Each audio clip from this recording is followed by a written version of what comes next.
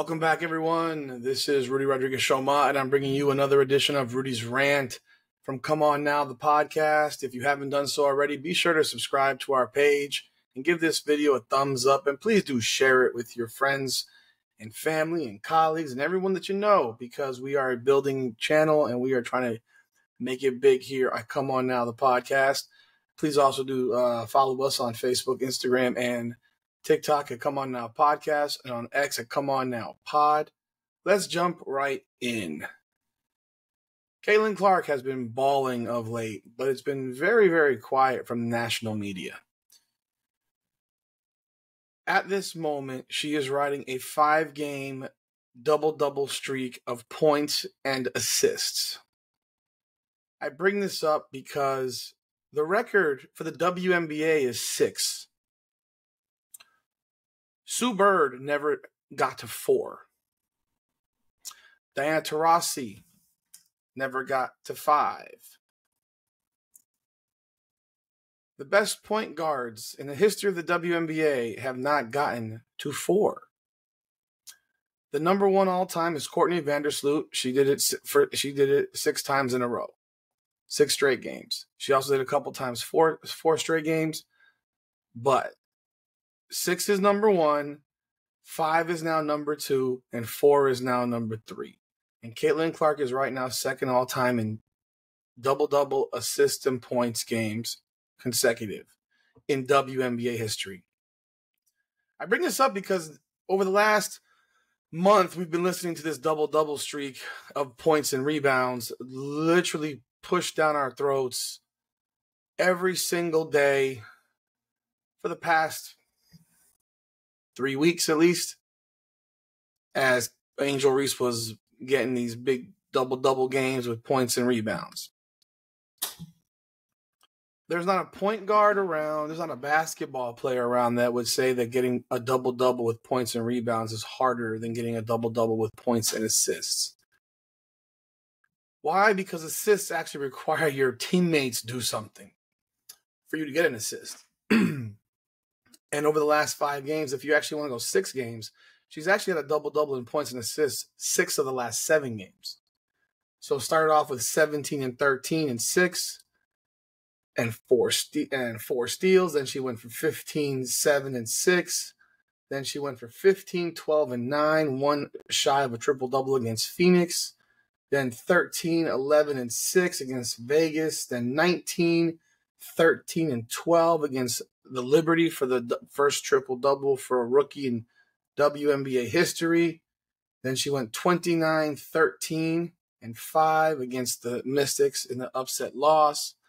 And then just yesterday, she went for 20, 13, and 6. She had seven assists in that game at the end of the first quarter. People were talking about how they were padding her stats up or what have you. No, she had seven in the first quarter. So and they nearly lost the game. I mean, Christie Sides nearly blew the game with her absolutely horrific coaching. All that said, you're not hearing much about this from ESPN. You're not hearing much about this from all the pundits that have been so quick to claim Angel Reese as the rookie of the year, despite over the last two games going five for 17 and three for 13 for a grand total of eight for 30 from the field. This is a six-three power forward who is struggles to make layups.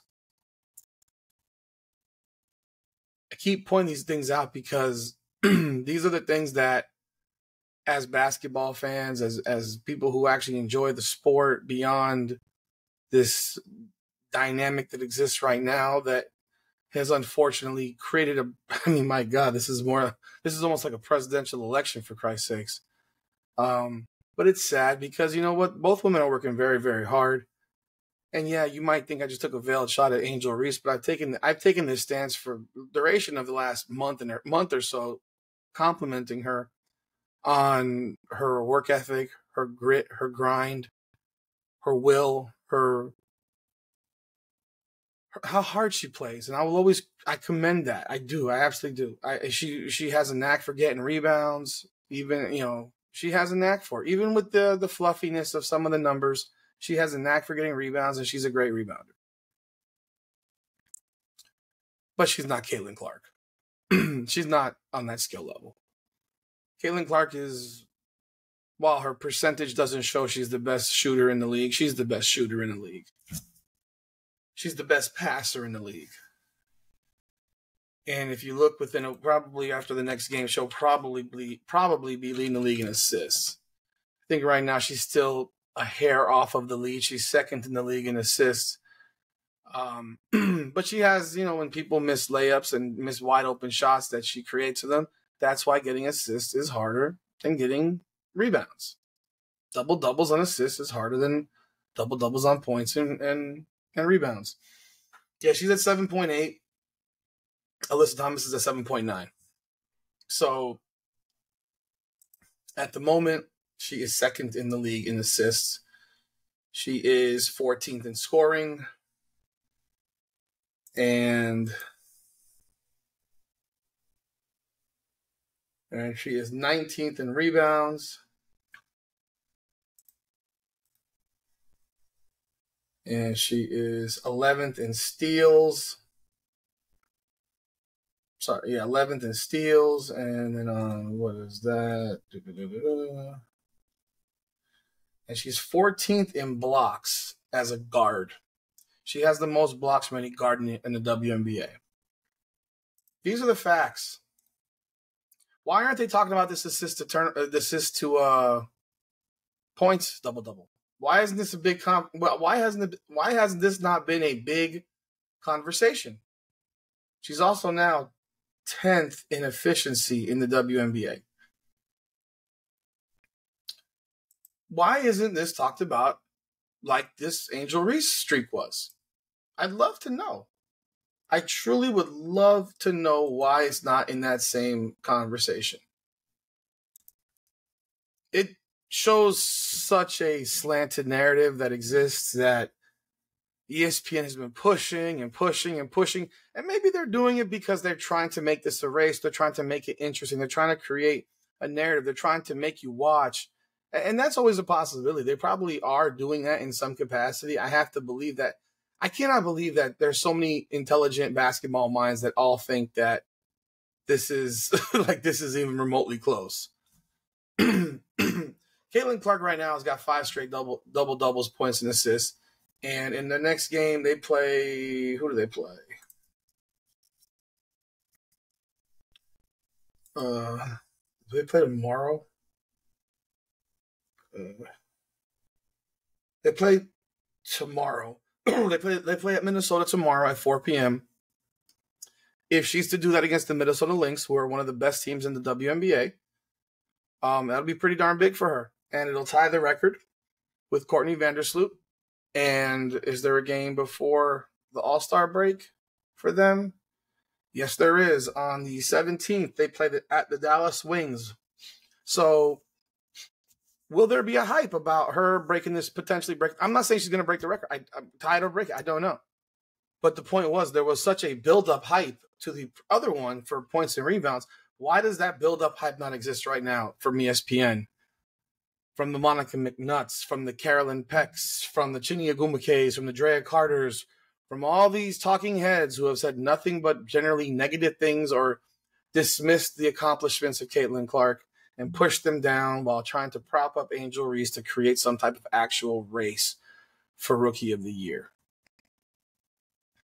I'll tell you right now, if Caitlin Clark drops another triple double this year, this is not even a conversation. I mean, I mean, it wouldn't even be a conversation. It's not a conversation right now to me as it is.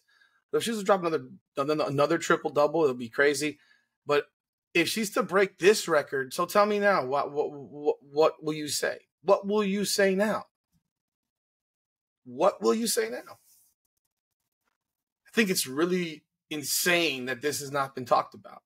Obviously, there isn't the buildup because the number's not as high, but we're at five. That happened yesterday. Are we going to talk about it? Is ESPN going to write a story about it? I'm on ESPN right now, and let's see. Is there a story about Caitlin Clark being one shy of the record? Let me check. Let's check it out because I doubt it. I do see on top headlines, Reese's historic double double streak ends at 15. Let's go to the WNBA page to see if the WNBA page says it. It does not. It actually says Reese's double double record is now 14 games. A'ja Wilson posts first, first career 2020 game and Aces wins. Why are they talking about A'ja Wilson more? Why doesn't this? Why don't the same people who are bloviating about Angel Reese talk about A'ja Wilson more? A'ja Wilson is putting up a monster season. She's the league MVP. Liberty beat, rally to beat Sky as Reese extends streak. Again, nothing here. Why is there nothing here about the the five game streak of Caitlin Clark? We can even go look at the scoreboard from yesterday after they won the game. I'm curious to see if they even mentioned it in the in the write up from ESPN. Let's take a look. Let's take a let's see here anywhere. No, it does not mention that Caitlin Clark has now done it five straight games. It does not mention that Caitlin Clark is now one game off the WNBA record of six. There is zero mention in on ESPN of this. So why do you think that is? I'll let you answer the question. Leave your leave your thoughts in the comments because I'd love to hear the opinions of people that are watching this and understand why isn't this being talked about for Caitlin Clark? Why isn't ESPN blowing this up? Because this is just as big, if not bigger. Assists are harder than rebounds. We know this. We know this. The record, I just wanted to check this out before I go. The record, okay, so the double double is six with Courtney Vandersloot. Let's see what happens if she breaks it to if she ties it tomorrow and see let, let's see how the, the world reacts. Let's see you know, let's see if ESPN makes it a story. Cause my guess is it, it probably won't. My guess is they probably won't because it would smash their narrative. This is uh it's a big game tomorrow for the Liberty. They're playing on the road at Minnesota. They they love to get this win. I'm sure it will be very beneficial to their to their race to not to avoid being an eight seed after Chicago lost today. Now they are the eight seed. They are nine and fourteen, and Indiana's ten and fourteen, half game better. I think you're pretty much going to have both of these teams make the playoffs at this point. Um, really, it's about if uh, Indiana can really catch up to Phoenix and get in that sixth spot, because otherwise they're going to play Connecticut in the first round and probably get bounced. Um, unless the WNBA finds a way to make them stick around longer.